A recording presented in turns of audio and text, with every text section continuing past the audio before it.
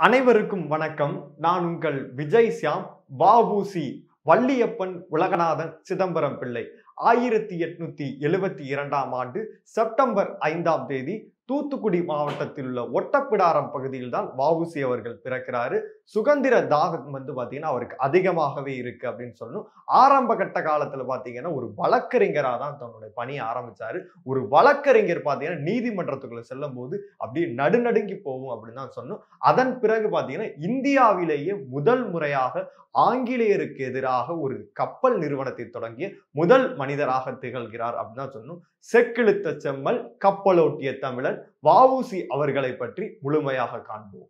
வாவு சிதம்பரம் பிள்ளை அவர்களின் வாழ்க்கை வரலாறு. வாவு சிதம்பரம் பிள்ளை தமிழிலும் ஆங்கிலத்திலும் புலமை பெற்றிருந்தார். வழக்கறிஞர் எழுத்தாளர் பேச்சாளர் தொழிற்சங்க தலைவர் சுதந்திர போராட்ட வீரர் எனும் பன்முகத்தன்மையும் பெற்றிருந்தார். இவரது அரசியல் வாழ்க்கை உயர்ந்த ஒழுக்கமும் நேர்மையும் ஆற்றலும் நிறைந்ததாகவே இருந்தது. அவர் அன்பு தைரியம் வெளிப்படையான குணம் இவற்றை உடையவராகவே இருந்தார். தமிழ் மொழியில் உள்ள அநேக இலக்கியங்களை படித்து அவற்றை பற்றி கட்டுரைகளையும் எழுதியுள்ளார்.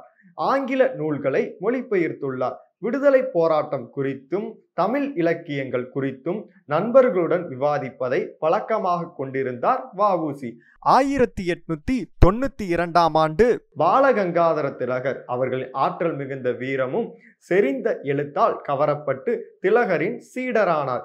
இவர் தான் இந்திய விடுதலை போராட்டத்தில் பங்கு கொண்டதோடு மற்றவர்களையும் பங்கு கொள்ளச் செய்தார். ஆங்கிலேயரின் அடக்குமுறையை எதிர்த்து போராடினார். அவர்களின் கொடூரமான சட்டங்களை பற்றி மக்களிடையே வீர உரையாற்றினார். வாவு சிதம்பரம் பிள்ளையின் திருமண வாழ்க்கை. ஆயிரத்தி எட்நூத்தி தொண்ணூத்தி ஐந்தாம் ஆண்டு வள்ளி அம்மையார் அவர்களை வந்து பாத்தீங்கன்னா வஉசி அவர்கள் மணக்கிறாரு. ஐந்தாண்டு காலம் வந்து நல்லா போயிட்டு இருக்கு அதன் பிறகு ஆயிரத்தி தொள்ளாயிரம் ஆண்டு பாத்தீங்கன்னா வள்ளி அம்மையார் வந்து இறக்குறாங்க பிரசவத்தால. அதன் பிறகு இரண்டாவது திருமணமா பாத்தீங்கன்னா மீனாட்சி அம்மையாரை பாத்தீங்கன்னா மனம் முடிக்கிறார் வஉசி அவர்கள். இவருக்கு எட்டு குழந்தைகள் இருக்காங்க. நாலு ஆண் குழந்தைகளும் நாலு பெண் குழந்தைகளும் இருக்காங்க. பாரதியாருடன் நட்பு. வவுசி சென்னைக்கு செல்லும் போது பாரதியாரை சந்திப்பதை வழக்கமாக கொண்டிருந்தார். வவுசி பாரதியார் பாடல்களை விரும்பி கேட்பார். வவுசியும் பாரதியாரும் அருகே அருகே உள்ள கிராமத்தை சேர்ந்தவர்கள். இருவரின் தந்தையாரும் நெருங்கிய நண்பர்கள். இருவரும் சந்தித்து பேசும் பொழுது இருவரும் கருத்துக்களும் ஒன்றாக இருப்பதை அறிந்தனர். இருவரும் எப்பொழுதும் நாட்டை பற்றியே பேசிக்கொண்டிருப்பார்கள் பாரதியார் தனது உணர்ச்சி மிக்க பாடல்களால் நாட்டு மக்களை தட்டி எழுப்பினார். வஉசியும் பாரதியார்களும் நெருங்கிய நண்பர்கள் ஆவர். வாவு சிதம்பரம் பிள்ளை. கடைசி காலகட்டத்தில் பார்த்தீங்கன்னா நிறைய போராட்டங்கள் நிறைய இதில் ஈடுபடுறாரு. அதன் விளைவாக ஆங்கிலேயரை எதிர்த்து நிறைய போராட்டங்களில் ஈடுபடுறாரு. அதன் விளைவாக என்ன ஆகுதுன்னு பார்த்தீங்கன்னா சிறை செல்ல நேரிடுது. ஆயுள் தண்டனையும் விதிக்கப்படுகிறது.